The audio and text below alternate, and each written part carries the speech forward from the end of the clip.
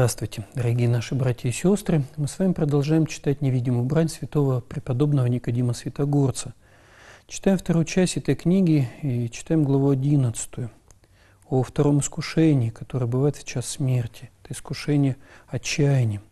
Дьявол приводит на ум человека грехи его и поражает душу таким безнадежием, что грехов настолько у тебя много, и уже ничего не изменить, что нет тебе никакой надежды на спасение. Вот здесь вот нас Святой Отец учит тому, что не слушай его. Вот это вот само состояние отчаяния свидетельствует о том, что оно дьявола приходит. А дьявол, он лжец. Да, действительно, человек, ты грешник, много грехов у тебя. Но помни, Господь за тебя именно пошел на крест и умер за тебя на кресте. И нет того греха, который бы Господь не мог бы омыть кровью своей.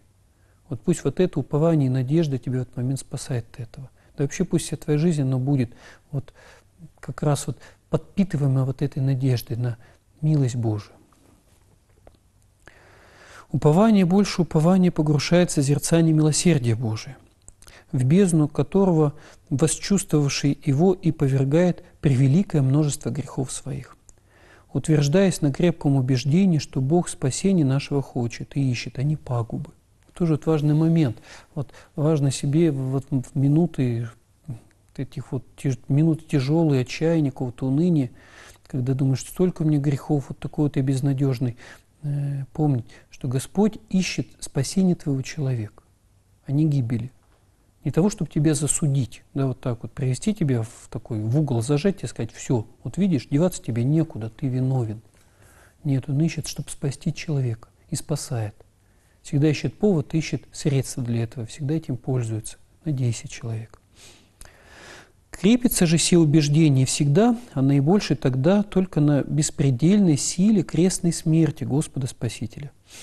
Посему, как всегда, надлежит нам укрываться под сень креста, так тем паче тогда, да, особенно в час смертный. Взирай на крест Господа и смотри, что за тебя сделал Сын Божий, чтобы тебя, человек, спасти от дьявола, спасти от смерти. И вот в такой молитве прилично тебе, вступая во врата смерти, возмолиться Господу Богу твоему.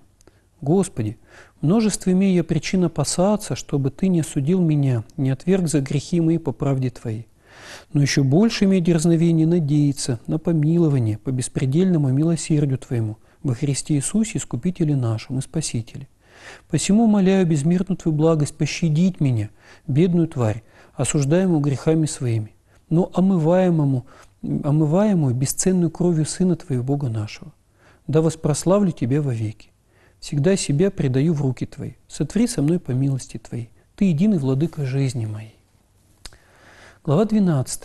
Третье искушение в час смерти – тщеславием. Третье искушение в час смерти бывает искушение тщеславием и самоценением, внушающими уповать на себя самого и дела свои. Да, то есть, когда человек начинает свои дела разбирать перед собой – и думать, я столько в жизни успел доброго сделать. Это как бы такая противоположность. То отчаяние, что очень много грехов, то так, самовосхваление. Что то, что то гибельно. Посему, как всегда, так наипаче в час смерти, отнюдь не допуская вниманию своему останавливаться на себе и своем и вдаваться в довольство собой делами своими. Хотя бы ты преуспевал в добродетелях больше всех святых.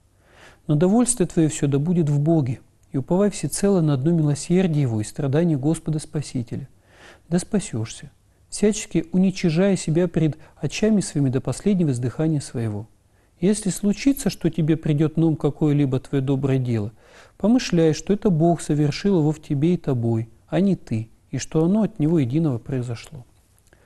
Прибегай под кровь милосердия Божия, однако ж не позволяй себе чаять его, как какого воздаяния тебе за многие великие брани, выдержанные тобой и победа, одержанные в них. То есть смотрите, надейся на милосердие Божие, да, уповай на него, но никогда не думай, что тебе это за то, что ты будто бы много потрудился. Нет, благодать – это всегда дар Божий, дар, мы его не заслуживаем. Вспомню, да, мы с вами читали о том, что все наши добродетели нужны только для того, чтобы суметь принять этот дар и только лишь. Стой всегда в спасительном страхе, исповедуй искренно, что все твои рвения, усилия и подвиги были бы тщетны и бесплодны, если бы Бог не взял их под крыло благоволения своего, не посодействовал им и не действовал в них. Да, то есть Господь все делает, а не ты. В твоих добродетелях Господь тебе всегда помощник. Какая твоя заслуга? На сей милостивое благоволение Божие теперь возложи все упование свое. Если последуешь этим советам им, то будь уверен, враги твои в час смерти никакого не будут иметь успеха в нападениях своих на тебя, и откроется тебе свободный путь, которым с радостью перейдешь ты из юдоли земной в небесный Иерусалим, вожделенное Отечество твое. Глава 13. Четвертое искушение в час смерти. Призраками. Если б враг наш, злой, лукавый, упорный, никогда не утомляющийся искушать нас, восхотел в час смерти соблазнить тебя какими-либо призраками, видениями и преображениями в ангела светлого, ты стой твердо в сознании своей скудости и своего во всем ничтожества. И скажи ему сердцем мужественным и небоязненным, возвратись окаянный в тьму свою, как недостойному мне не подобает видение откровения. Одно мне нужно – безмерное благоутробие Господа моего Иисуса Христа, молитвы и заступления Владычицы нашей Богородицы и Преснодевы Марии и всех святых. То есть вот здесь говорится о том, что да, дьявол может кого-то искушать таким образом, являясь человеком в виде ангела. Возможно, опять же, желая возбудить в человеке некое самомнение, что, мол, вот такой вот я великой жизни человек, что уже ангелы не являются как, не, как будто бы друзья мои. Чего бы ни было, убеждай себя, что я сам по себе ничего не стою совсем. Вот, а что я по своему недостоинству недостоин никаких ни видений, ни откровений. Что у меня надежда не на себя, а только на Господа, на Божию Матерь, на, всех святых. Хотя бы по некоторым явным признакам подумалось тебе, что видишь истинные видения Богом тебе данные, и в таком случае не спеши верить им, а скорее погрузись в сознание своего недостоинства и ничтожества. Не бойся, что оскорбишь тем Бога, потому что Ему никогда не бывают неприятны наши смиренные чувства – если такие видения нужны для тебя, то Бог знает, как сделать, чтобы ты не закрывал от них очей своих, обезвинив твою косность верования, что не от Бога. Да, то есть Господь не будет себя взыскивать, если ты вот так по смирению своему будешь отвергать, даже вот если что-то истинно увидишь. Ну, имеется в виду тут ангелов. Подающий благодать смиренным не отнимет ее за действия, какие они творят по смирению.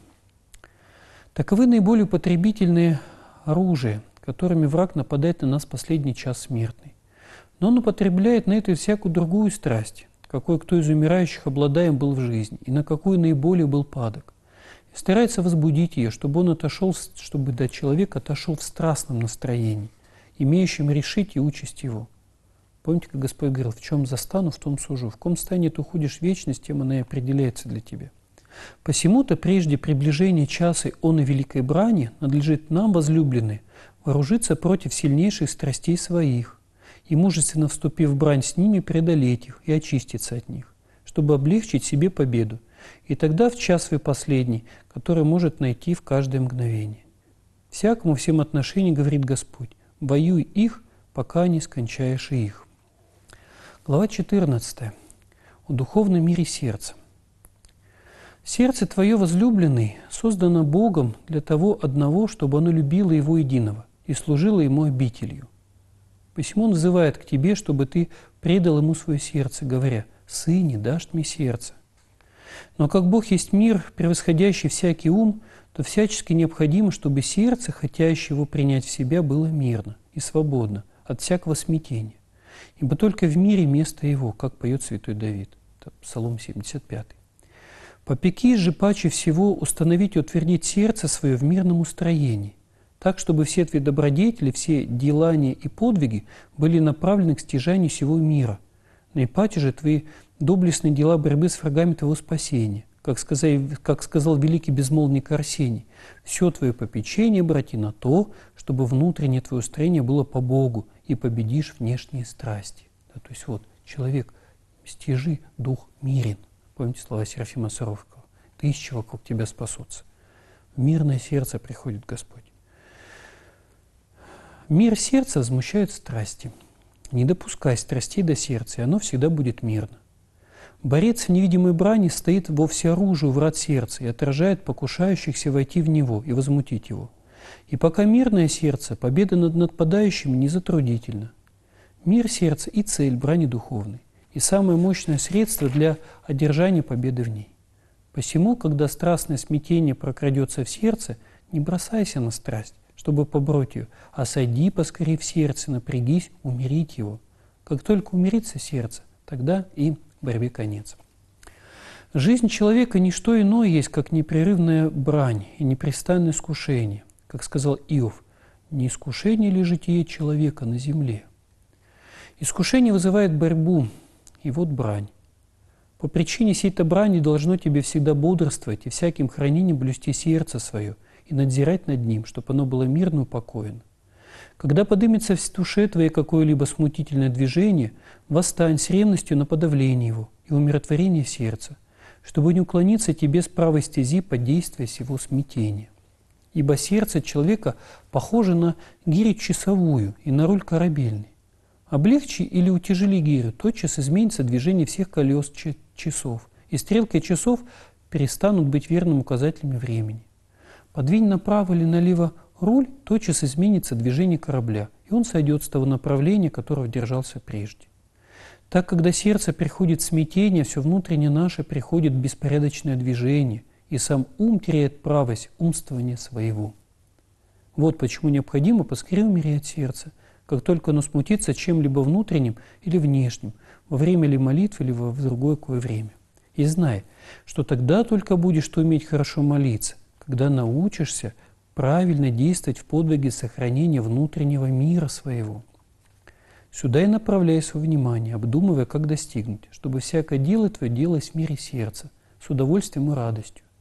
Кратко скажу, что непрестанным подвигом всей жизни твоей должно быть хранение мира сердца твоего. Не допуская его приходить в какое-либо беспорядочное смятение, и все дела свои делай под сенью всего мира, тихо нравно, как написано, чада, в тихости дела твоя препровождай. Насподобишься обещанного тихонравным блаженства, блаженны кроткие, яко те наследят землю.